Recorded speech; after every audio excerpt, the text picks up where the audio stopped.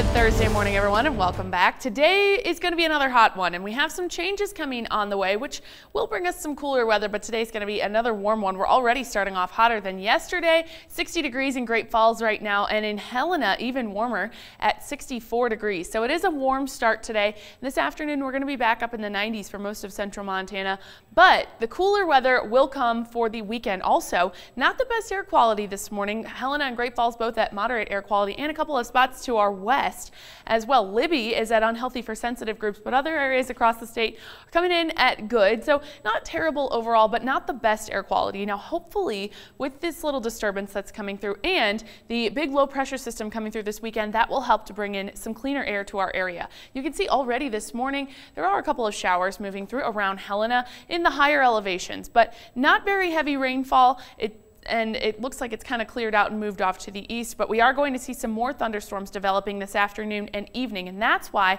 there's a red flag warning in effect here for southwestern Montana. And this is until later on this evening, very early Friday morning. These thunderstorms that come through could have lightning and also pick up the winds a little bit, which could spark new fires uh, and cause more fire danger this afternoon and evening. That doesn't technically include Helena, but Helena is going to see some of those thunderstorms coming through this evening. Now you can see that developing in the afternoon, but really picking up steam this evening, especially in southwestern Montana where that red flag warning has been issued. Now, Helena isn't going to see quite as strong conditions as southwestern Montana, but could see some thunderstorm activity, especially overnight tonight into tomorrow morning. So tomorrow, probably going to be waking up to some sprinkles in Helena and Great Falls, maybe even Lewistown, but throughout the day tomorrow, those are going to really continue and develop along this line here in north central Montana from Helena kind of towards Lewistown.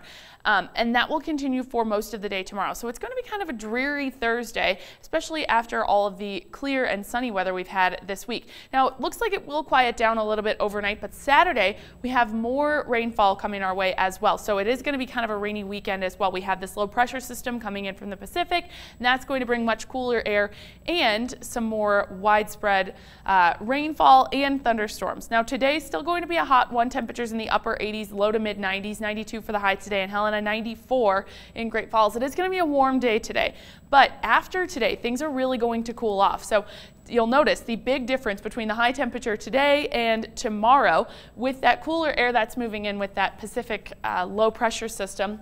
That's going to cool things off, but also bring some more rainfall, especially for the weekend. It's going to be kind of a drizzly weekend here for Saturday and for Sunday, potentially even hanging on until Monday here.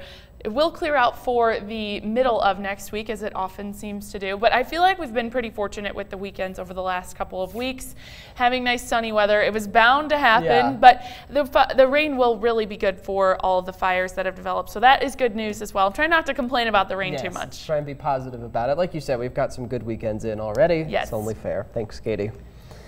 The first